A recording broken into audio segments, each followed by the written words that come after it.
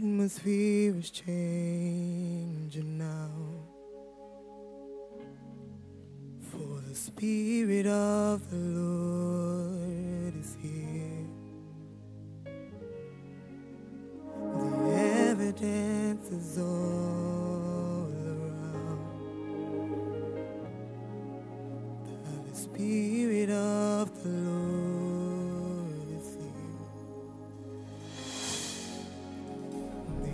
atmosphere is changing now.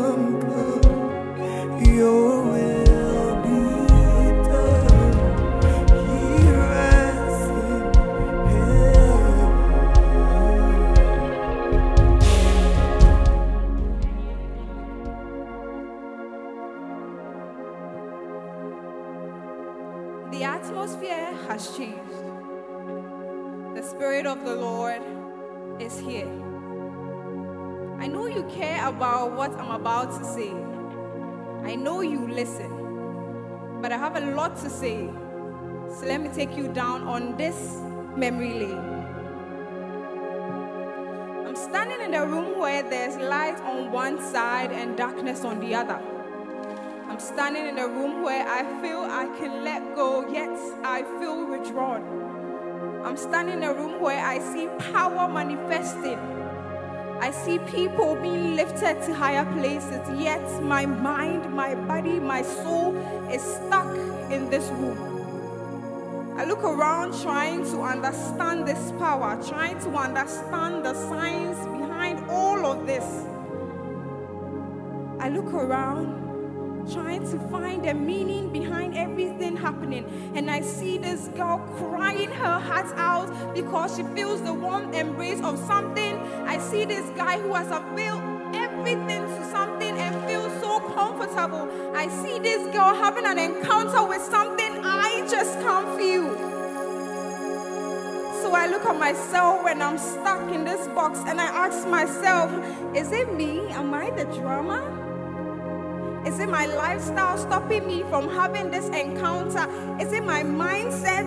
Or should I fake it till I make it? I mean, what shows is all genuine? That was me. Story of my life.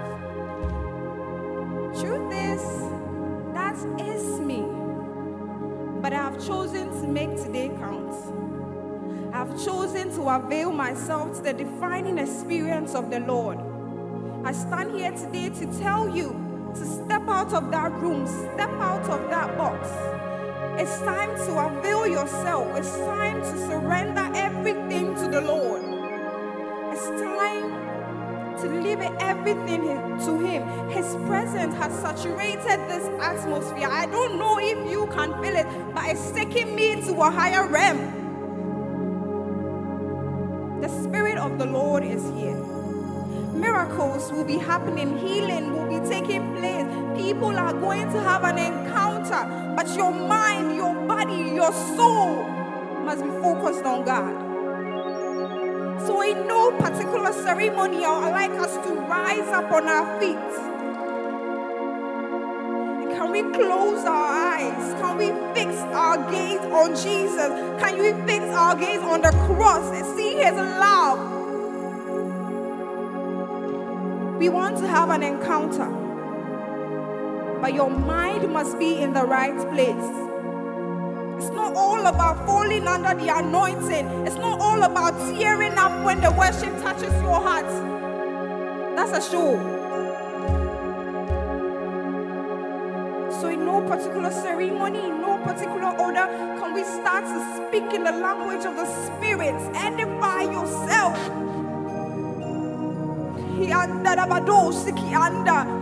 Edify yourself, put yourself in the right place. Be ready to have an encounter. This is a Holy Ghost presence. The Spirit of the Lord is here, heaven is here.